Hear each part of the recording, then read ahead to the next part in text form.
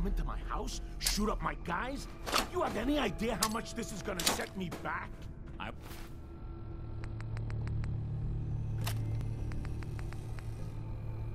I wouldn't be here if it weren't for your two-timing dame, Skinny.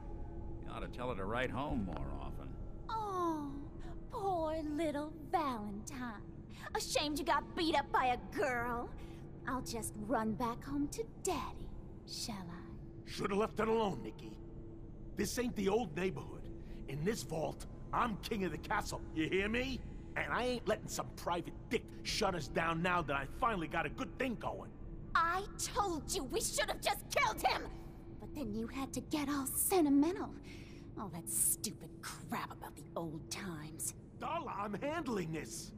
Skinny Malone's always got things under control. Oh yeah? Then what's this guy doing here, huh? Valentine must have brought him here to rub us all out? Darla, listen to me. You have a home to go back to. You don't want to throw your life away with these thugs. Don't you try to confuse me! Get him, Skinny! So much for Skinny Malone. Think he's lighter or heavier with all those holes?